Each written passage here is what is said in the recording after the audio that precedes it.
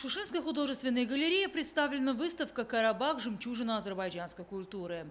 Глава государства и первая леди Мехрибан Алиева ознакомились с выставкой.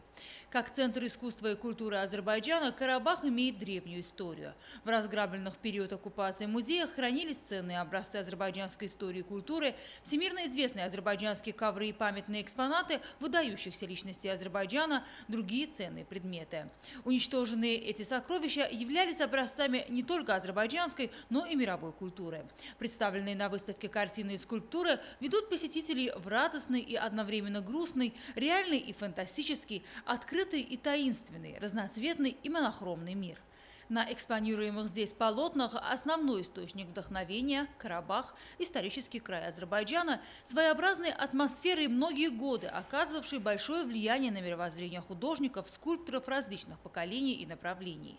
На организованной фондом Гейдара Алиева выставке представлены полотна выдающихся азербайджанских художников Бюйк Агимизезаде, Тоғрула Нариманбеева, Марал Рахманзаде, Надира Абдурахманова, Микаэла Абдуллаева, Уджала Хагвердиева, Мусаиба Эмирова и других мастеров кисти. Здесь также широко экспонируются работы, посвященные Карабаху, победе в Отечественной войне, представлены ковры, мугам.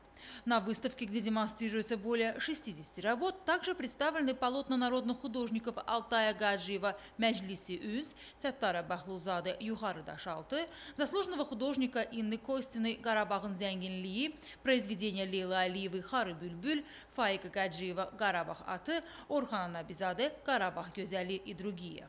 В галерее «Ковроткачество», восстановленной и отремонтированной в Шуше фондом Гейдара Алиева, открылась выставка «Снова в родном краю. Жемчужины искусства Карабаха». Президент Ильхам Алиев и первая леди Мехрибан Алиева приняли участие в выставке.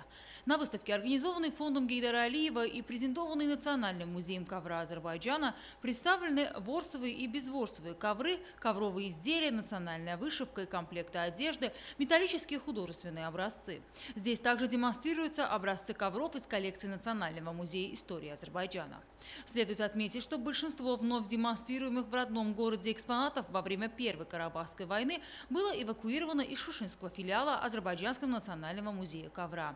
Здесь можно увидеть образцы присущих разным регионам карабахских ковров, которые веками высоко ценились и входят в число редких жемчужин зарубежных музеев и частных коллекций.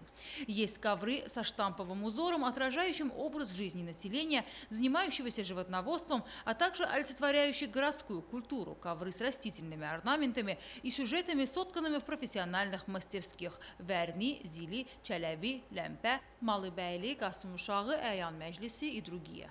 Один из экспонатов, представляющий особый интерес своими большими размерами, совершенной композиционной структурой и яркими цветами – ковер Лемпе.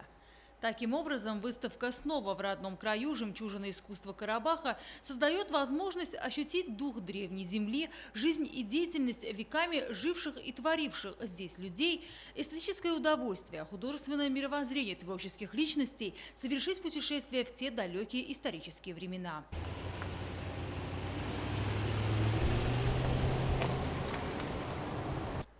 В рамках Дней поэзии Вагиф, организованных фондом Гейдара Алиева, открылась и выставка «Память. История. Фотография». Фотовыставка воплощает в себе древнюю историю, богатую культуру, красивую природу и традиции Азербайджана. Армения в период оккупации азербайджанских территорий осуществила акты вандализма против нашего культурного наследия и историко-архитектурных образцов, уничтожив исторические культурные объекты, религиозные центры, враг до основания разрушил ряд районов и городов.